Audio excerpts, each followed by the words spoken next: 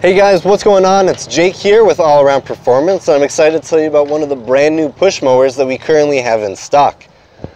Sitting in front of me today, powered by a Briggs & Stratton 7-horse mower, is our Jonsered self-propelled push mower. This is a front-wheel drive self-propelled mower, and one of the interesting things about this mower is that it comes equipped with a, an electronic push-button start.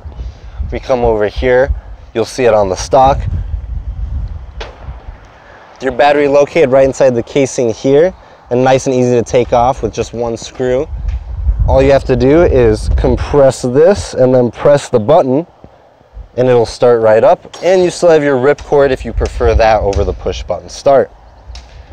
One of the very interesting things about this brand new Briggs & Stratton 7 horse motor is that it comes with a ready to start ability which means that there's no choke so you never have to worry about priming it or choking it. All you have to do is pull to start, or in this case, push button to start. And this motor is also designed so that it doesn't need an oil change. All you have to do is check the oil level inside of it and add when necessary. On the deck, you're going to find that it has this quick hose attached right here, which makes it nice and convenient for cleaning out the deck, giving more longevity out of your mower. And with this mower, it comes equipped with two different options for the rear of it. You have this nice sturdy John Red nylon bag. And then here you have this plastic side chute that shoots it out to the left side of the operator.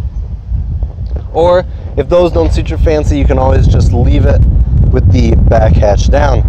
When you go to attach your attachments, it's quick and easy. You just have to pop them into these slots above the hooks on each side. And this has been our John Red push mower. Thank you so much for your time.